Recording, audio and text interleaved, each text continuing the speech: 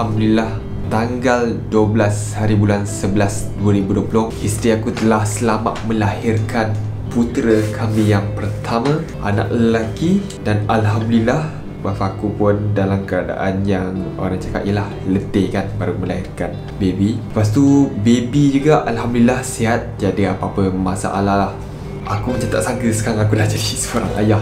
Dan video kali ni aku nak share pengalaman aku, wife aku macam mana dia melahirkan anak lebih-lebih lagi di musim covid ni lah Okey, ceritanya ceritanya bermula macam ni. Dua atau tiga hari sebelum uh, wife aku melahirkan anak yang pertama, wife aku sakit. Sakit tu yang aku baru tahu ia dipanggil contraction eh, contraction. Aku maaf kalau aku tersilap sebut. Pada pukul sebenarnya pukul 3 pagi wife aku kejut. Aku cakap wife aku sakit, sakit, sakit. Aku time tu memang tak tahu itu sebenarnya sakit contraction. Lepas tu dalam pukul 11 ke 10 pagi aku masih sakit dan kawan aku pergi ke hospital check dan doktor cakap bukaan yes ni benda yang aku baru tahu yang bukaan wife aku bukaan wife aku pada ketika itu 2 cm dan doktor cakap tak apa tak perlu tahan wad. Jadi balik rumah lepas tu pukul 11 malam wife aku cakap tak tahan. Memang sangat sangat sakit. Lepas tu dalam pukul 12 tengah malam 12 12 tengah macam tu pergi balik hospital. Doktor check lagi sekali. Time tu dekat hospital HSC Hospital Sultanah Aminah dekat JB bukaan dah 4 cm dan wife aku kena tahan buat lah. Masalahnya bila dia musim covid ni Aku tak boleh teman dan senang cakap Hanya boleh jumpa untuk hantar barang. Eh hantar barang pun tak boleh. Kena hantar dekat guard Hanya boleh jumpa ketika wife aku telah selamat melahirkan anak. Maknanya aku kena jumpa ambil uri azan. Sekali lagi boleh jumpa bawa wife aku balik. Dua kali je aku boleh jumpa. Lepas aku dah hantar wife aku Pukul 12.30 masa bukaan 4cm Aku balik aku tidur kat situ sebab aku tunggu wife aku ingat dapat jumpa sebenarnya tak sebenarnya tak boleh jumpa. Jadi pukul 4 lebih pagi tu aku balik rumah. Aku balik rumah wife aku ke hospital aku memang tak tahu nak buat apa. Tentu aku memang dah letih memang tak cukup tidur pukul berapa baru aku bangun. Lepas tu ke esok kan eh lepas tu pada hari tu pukul 3 petang bukaan masih 4 cm tapi wife aku dalam keadaan sakit contraction Aku tak tahu sakit macam Tapi wife aku cakap memang sakit gila Dia cakap macam nak mati Memang rasa tulang belakang Dia cakap macam nak tercabut. Ha, Orang perempuan tahulah Kalau yang pernah mengandung tu. Keesokan harinya Pukul 2 pagi 2-2.30 macam tu Time tu aku tengah tidur Wife aku telefon Dia masuk ke labor room. Dan time tu aku nak pergi Dia cakap tak payah sebab Memang tak boleh masuk. Jadi aku sambung tidur Patutnya aku boleh sambung tidur pula. Yelah sebab aku dah time tu tak boleh tak tahu nak buat apa. Uh, Lepas tu pada waktu pagi Tak silap waktu pagi aku bangun Aku baca Yasin sebab aku ingat aku baca Yasin Cuma aku tak ingat waktu bila aku baca Yasin. Lepas tu tepat pukul tujuh setengah Wife aku hantar gambar aku telah selamat melahirkan baby aku yang pertama lah Dan tu time tu 12 ah 12 hari bulan. Memang aku macam terkejut tak sangka. Tapi aku tak boleh nak jumpa baby tu sebab yalah memang tak boleh jumpa sebab covid kan. Aku hanya hantar barang je. Lepas pukul 7.30 pagi 7.30 pagi waktu aku hantar gambar yang aku dah dah jadi bapa aku. Memang sangat gembira dan teruja lah. Tapi saya aku tak boleh jumpa. Lepas tu pada pukul 8 malam buat aku mesej yang aku boleh jumpa baby itu pun jumpa untuk azankan baby Lepas tu aku ambil uri baby lah. Dan pada Dan bila kali pertama jumpa tu memang Aku tak tahu nak cakap Nak gambarkan macam mana perasaan je lah. Kali pertama kau tengok anak kau Anak pertama pula tu kan. Yelah dia punya terunya tu lain macam lah. Lepas tu kau tengok wife kau pun dalam keadaan sihat Kira macam gembira lah tak sabar sebenarnya nak bawa wife aku balik tapi tak boleh balik sebab wife aku lahirkan anak normal tapi vacuum tak dapat balik. Keesokan harinya baru dapat balik lah bila dapat balik tu memang aku gembira gila lah. Aku disebabkan wife aku bersalin normal tapi vacuum. Aku kena tolak wheelchair tu bawa ke bawah. Aku ambil kereta angkat wife aku anak aku dan terus balik ke kampung lah. Aku tak balik ke rumah yang mana aku duduk sekarang ni lah. Sebab wife aku nak berpantang di kampung. Di kampung ada orang jaga lah. Macam aku tak ada pengalaman nak jaga orang gandung Yalah first time. Lepas tu aku bawa wife aku Balik kampung. Memang happy lah Sepanjang perjalanan tu. Aku tengok baby. Yalah happy gila. Tengok anak yang first Sampai di rumah Ini antara pengalaman senang cakap. First time kau nak kena jaga baby ni Macam mana ni? Macam mana kau nak salingkan lampin Macam mana ni Kalau ada nangis? Macam mana nak bagi susu ke apa? Macam mana kan? Senang cakap. First day tu memang Aku tak cukup tidur. Anak aku Senang cakap anak aku Kejutkan aku setiap lima, sel, Selang 15 minit 15 ke 20 minit Kejut. Sama ada kena salingkan lampin Ataupun kena Teman wife aku menyusukan Ataupun Aku kena buat susu Susu formula untuk anak aku lah. Masa dah cakap tak cukup tidur lah Selang 15 minit Aku bila aku bangun je Aku tengok jam. Bila bangun je tengok jam Tengok eh 15 minit. Eh baru 5, dapat 15 minit je Dapat 20 minit je tidur. Memang senang cakap Oh macam ni rupanya jaga baby. Betul lah orang cakap Memang Tak cukup tidur sebenarnya jaga baby. Maknanya bentuk memang benda yang betul lah. Tu antara pengalaman malam pertama. Lepas tu bila aku nak salinkan pampers baby tu Yelah tak pandai. Aku belajar.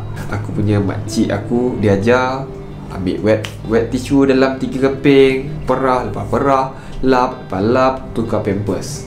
Macam itulah cara. Yelah pengalaman pertama. Lepas tu Memang aku je lah yang Tekak tukang tukar lampian Sebab wife aku dia Nak kena rehat Tak boleh banyak bergerak. Lepas tu ha, Bila aku dah sampai rumah Lepas aku balik hospital tu Aku kena settlekan uri Aku kena cuci uri. Nasib baik aku senang cakap Aku tak ada perasaan lawyer nak muntah ke apa Sebab cuci uri ni ibarat kau cuci Kalau kau pernah menghadiri majlis kurban Ataupun kau pernah siang ikan ke ayam. Jadi cuci uri ni pada aku tak ada masalah Lebih kurang macam benda yang aku cakap tadi tu. Cuma dia kena cuci Cuci macam biasa Cuci kasih bersih Tak ada darah Lepas tu kena lumbur sikit dengan air garam. Eh kena lumbur sikit dengan garam Limau. Lepas tu kena perah Perah dengan eh apa garam. Lepas tu kena perah limau supaya tak Bau hanyi lah semasa aku tanam tu. Kalau tidak nanti akan ada haiwan yang akan korek lubang tu lah Masa aku cuci tu Ya macam tenang. Aku just selawat Cuci. Lepas tu lepas cuci Aku tanam tanam tu senang cakap aku tak tahu nak dal- nak tanam dalam macam mana dengan keadaan tanah tu tanah liat korek punya korek punya korek. Lepas tu aku diganggu kalau nak tahu ganggu dengan apa? Masa aku tanam muri tu aku diganggu oleh nyamuk. Nyamuk banyak gila ya duduk kampung memang nyamuk banyak gila lah. Okey berbalik pada cerita tadi menjaga baby menjaga berak baby semua tu terpengalaman pertama Sebenarnya tak susah pun sebenarnya. Kalau orang yang geli tu mungkin susah kot. Okey, lepas tu Bila senang cakap bila baby lahir ni Nurse akan datang buat check up Sama ada selang sehari Ataupun selang dua hari. Bergantung pada keadaan, keadaan baby lah. Masa hari pertama nurse nurse datang Nurse cakap bawa baby ke klinik kesihatan Bawa dan baru aku tahu yang baby Aku ada kekuningan Dan klinik kesihatan time tu dia bagi tahu time tu tak aku 11 point something ke 12 point something. Dia cakap pergi ke hospital Pontian buat emergency. Aku pun pergi bawa wife aku. Dan wife aku kena tahan ward balik. Baru je satu malam duduk rumah dah kena balik tidur hospital sebab baby kekuningan lah. Aduh ay. Baru je sempat jumpa anak aku sehari dah kena pergi hospital. Baby kena tidur dekat lampu berwarna biru atas dan bawah Baby hanya pakai pampers dan tidur. Saya cakap pakai pampers tidur dengan ada lampu atas dan bawah. Baby tidur menyerap. Supaya aku tahu itu mungkin salah satu cara untuk mengurangkan kuning baby lah. Lepas tu selepas satu malam wife aku berada di hospital. Wife aku dengan baby aku balik, balik rumah dan balik. Time tu wife aku study macam mana nak jaga baby kuning. Lepas tu dia tanya kawan dia. Lepas tu nak jaga, jaga, nak jaga baby kuning baby, baby yang kekuningan ni senang cakap. Dia memang tak menyusu dia kerap tidur. Jadi setiap satu jam atau dua jam Kalau baby tak jaga Kita kena kejut dia Kena susukan dia supaya dia berak.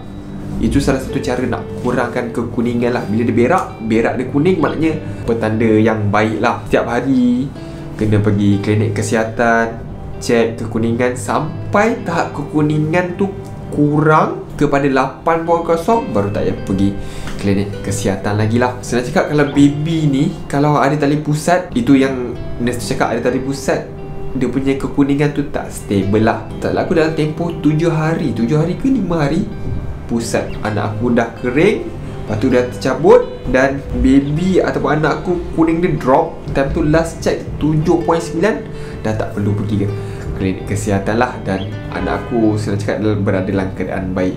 Cuma problem dia wife aku bila dia vacuum tu wife aku kena beberapa jahitan. Wife aku pula kena pergi ke hospital. Tak silap aku time tu hari ke aku tak ingat hari ke berapa hari ke 10 kot. Hari ke 10 ke hari ke, tu, ke 8 macam tu.